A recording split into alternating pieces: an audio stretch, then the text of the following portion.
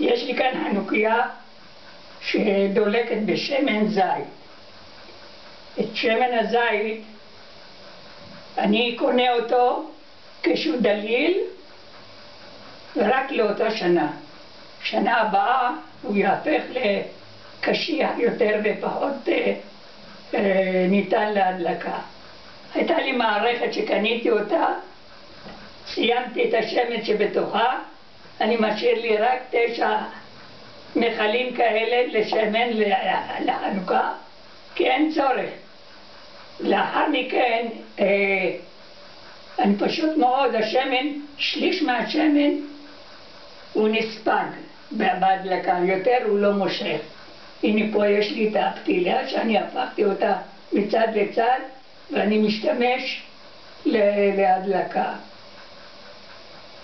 אה, כדי להוסיף שמן, יש לי כאן את הסידור הזה, קניתי בבית מרקחת מזרק, פה אני יש סופק שמן לתוך המזרק ודוחף לתוך הצינורית הזאת, כשאני תופס את הצינורית שלא תתרומם.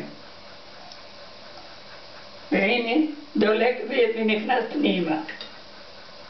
פנימה אני פשוט מוסיף לאותו, לאותו שמן שנדלק יום לפני כן. וככה אני מסיים את שמונת ימי החנוכה.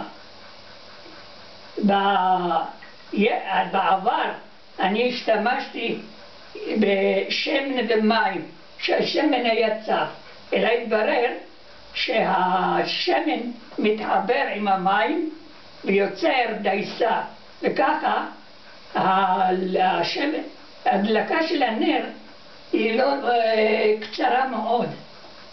יש אולי שמנים אחרים. בנוסף לזה, השמן זית לא מעלה ריח. פשוט לא מעלה ריח. יותר טוב מאשר נר רגיל. גם בהדלקה וגם בסיומת.